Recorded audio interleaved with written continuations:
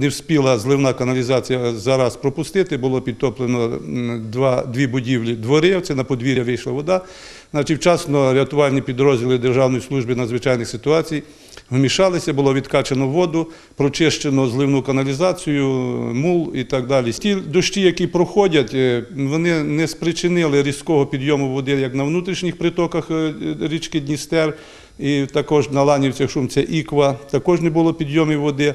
На сьогодні йде незначний підйом води, е, це по Дністру в районі Нижнів до метра, і цю хвилю ми чекаємо десь субота, е, повинна прийти це в районі Заліщиків.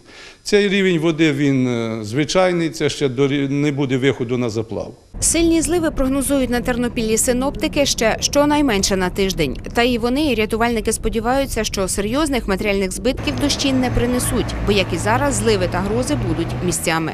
Вода, що вже випала, спричинила перезволоження ґрунту, тому основне навантаження тепер на стічні канави і каналізаційні стоки. Саме їх треба очистити від сміття, аби дощівка не підтоплювала подвір'я чи оселі, кажуть рятувальники. Пам'ятаючи зливи і підтоплення на Тернопільщині в 2008 і 2010 роках, в управлінні з питань надзвичайних ситуацій облдержадміністрації передбачають, що основні неприємності від літніх дощів можуть чекати Тернопілля, як і тоді у липні. Тому запевняють і зараз, і на майбутнє не розслабляються, а в теперішніх зливах нічого особливого не бачать. і град, і шквали при грозах.